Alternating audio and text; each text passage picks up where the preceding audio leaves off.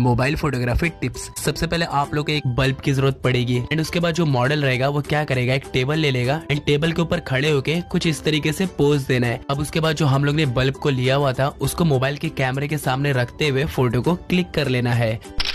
And जो दूसरा photo click करेंगे, उसमें हम लोग बल्ब को वहाँ से हटा देंगे। एंड एक और फ़ोटो क्लिक कर लेंगे। अब ये दोनों फ़ोटो क्लिक करने के बाद ये दोनों फ़ोटो को मर्ज कर लेंगे पिक्सार्ट एप्लीकेशन में एंड मर्ज करने के बाद आप लोग की फ़ोटो बहुत ही ज़्यादा क्रिएटिव देखने को मिलेगी। ऐसी और ट्रिक्स के लिए हमें फॉलो करें टिकटॉक पर। लाइकी Likey.